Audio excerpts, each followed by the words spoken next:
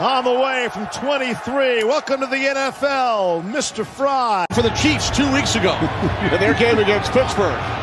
He went three for four from the left hash. Fry's kick is good. Oh. The Falcons and one of two PATs. This is going to tail to the right here, I think. From 44 yards. Oh, yes, down that right side, but walk away feeling good about his performance, given a rare chance, and he delivers the kick from 34. For his third field goal make of the day. And it's good.